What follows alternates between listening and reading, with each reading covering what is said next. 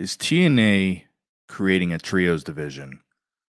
This is something that the fan base has been speculating on for a little while now because if you go back to the top of the year, and it doesn't matter if it's an episode of Impact, it doesn't matter if it's a TNA Plus show, they've been doing a lot of six man tags. And a lot of these six man tags have been closing out the show. And it has seemed like TNA has been putting miniature stables together. I say miniature because to me, like a good stable has four people and they have a name, but uh, they they're they're definitely putting an emphasis on six man tag right now.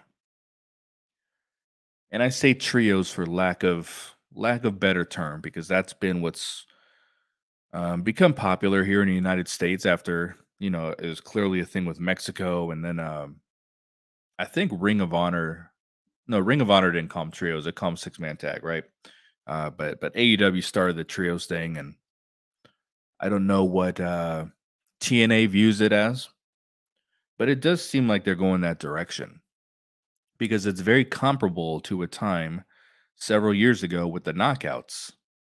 And this is something I've brought up quite a bit um, in, in more in criticism of the current knockouts tag team division.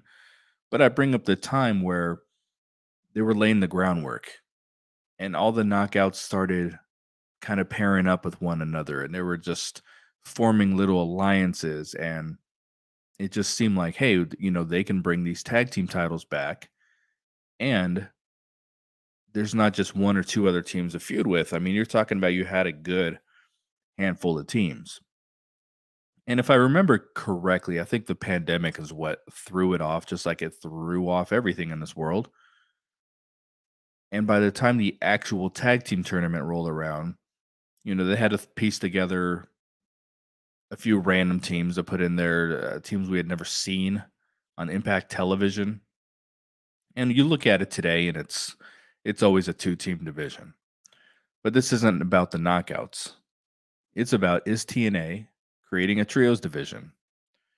You can go down this roster. Now there's the obvious Moose, Eddie Edwards, and Brian Myers that is pictured right here, the obvious system, right? And then you look at the X Division champion of Mustafa Ali. At first, he kind of had the good hands there, now, you know, the Grizzled Young Vets are there.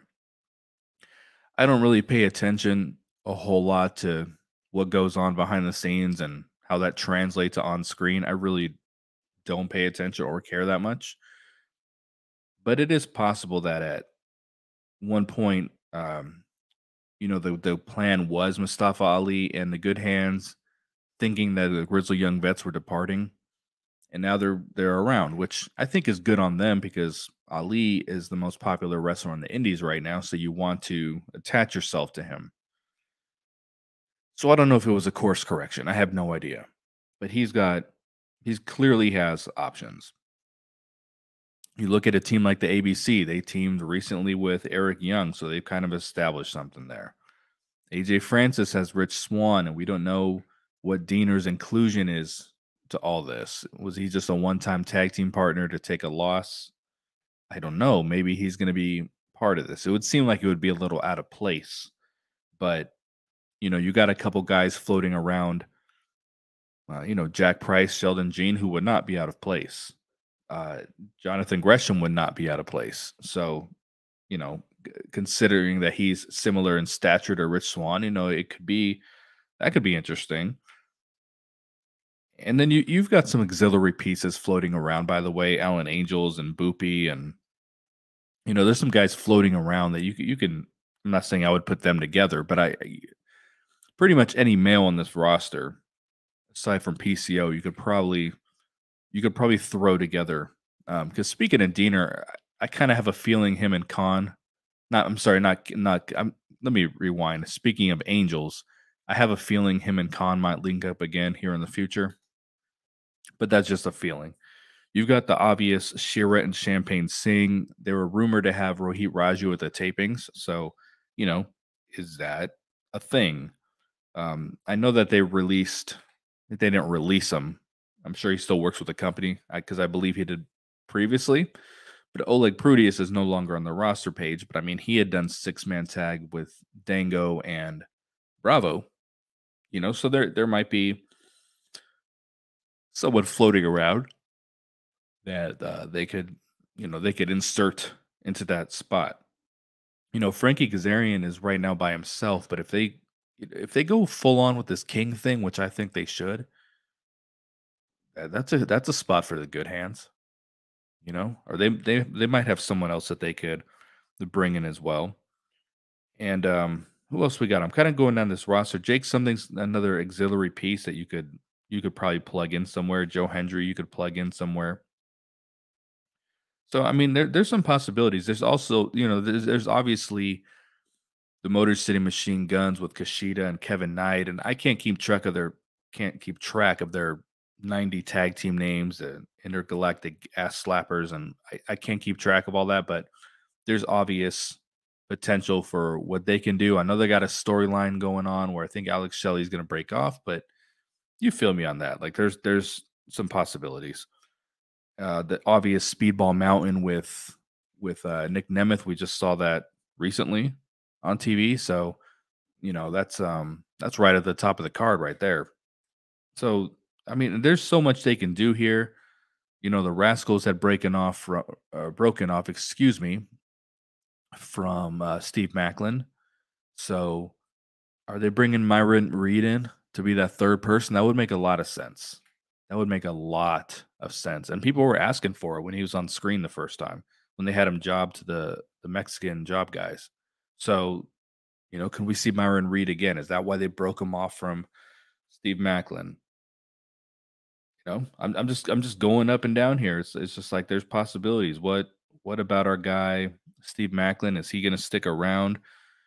I know that when he I don't I don't want to say no, but the rumor was when he first joined Impact that they wanted to bring uh, one or two of the guys that he was not two, not Gunner, but the uh, the other dude who was um, in NXT teasing, teaming with Buddy Matthews at one point.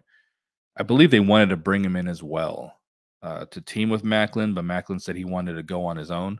But just the way they broke those guys up, you know, could he be bringing in a familiar face or two to to form a six man tag? You know, what would you guys think of this? Because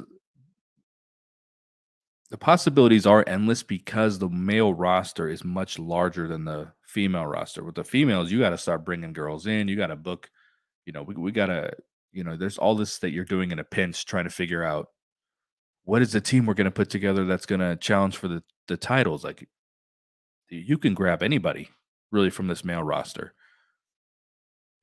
But the knockouts tag started off really hot, and now we have Spitfire as the tag team champions.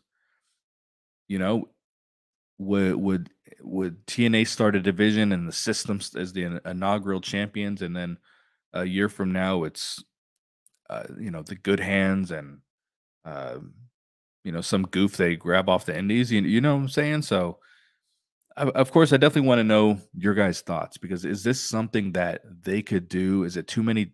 Is it too many belts? Is it like AEW where everyone has a belt? Would this be too many belts if they introduce this? Because it does seem they're going like they're going that direction.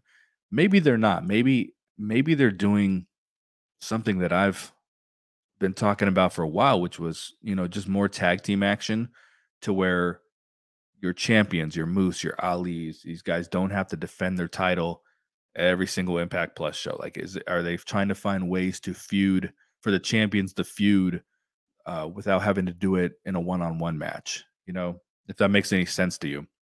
But that's a possibility. But do you guys think this is something that could thrive? Is, is, is this something you want? Is it something that you have confidence that they could book correctly? Because again, due to the size of the male roster, there should not be a shortage of opponents. I say that, but then you look at the tag team division sometimes and you're like, where are the tag teams? I do think that it's easier to get away with a random six man group than it is a random tag team. I don't know why. I, I think because the history of six man tag team wrestling, because they're not, they're typically not three man groups. You know, there's there's the New Day, and there's you know every once in a while there's these little three man groups. For the most part, six man tags have been random. So you can kind of get away with, hey, we need opponents, we need to build towards something. Uh, let let's let's throw these three guys together. You know, it works a little more than it would in in a tag team division. So there there's you know, there is potential, folks. But of course, I want to know your thoughts in the comments. And give this video a thumbs up. Why not? I'm your boy. I'm out. Peace.